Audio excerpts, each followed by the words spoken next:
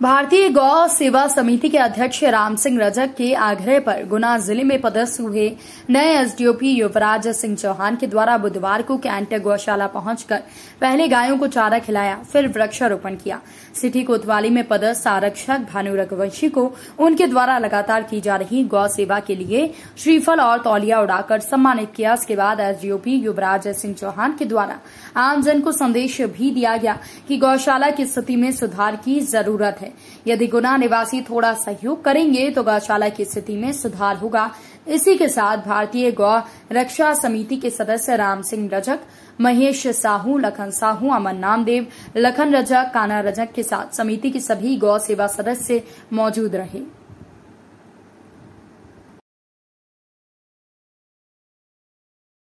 Tent की कहानी house में आकर। आ, मैं अभी नया ट्रांसफ़र होकर एस एसडीओपी गुना के पद पर पदस्थ हुआ हूँ। आज गौशाला के सभी पदाधिकारियों और जो भी इस गौसेवक हैं। उन्होंने मुझे यहाँ आमंत्रित किया था।